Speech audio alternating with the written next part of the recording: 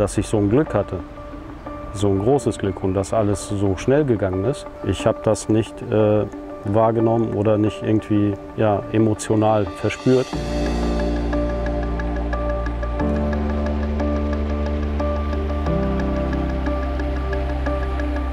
Also ich habe auf den Bildschirm geguckt und dann rutschte er eben ab und äh, war auf dem Boden und vom Stuhl runtergerutscht. Und dann habe ich gedacht, was ist, was ist denn nun?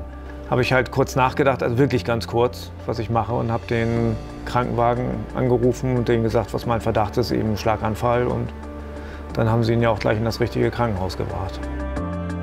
Der Becker hatte einen schweren Schlaganfall auf der rechten Hirnseite. Die mittlere Hirnarterie war verschlossen und wir haben sehr schnell eine, eine Diagnostik äh, durchgeführt, die uns zeigte, wo der Verschluss ist. Woran ich mich entsinne, ist, dass ich in dem Gang auf dem Bett lag und das London-T-Shirt, was ich anhatte, das hat man mir zerschnitten.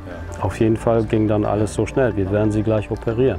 Wir haben in, in St. Georg äh, die Möglichkeit, halt eine sehr schnelle, hochmoderne Diagnostik des Gehirns äh, des betroffenen Patienten durchzuführen. Und die äh, modernen Kathetersysteme geben uns sozusagen die Möglichkeit an die Hand, mit sehr breiten Absaugkathetern an das Blutgerinnsel heranzukommen und äh, dies halt dann zu entfernen. Ich denke, ich hatte eine ganze Menge Glück gehabt, zumindest jetzt bei diesem Vorfall.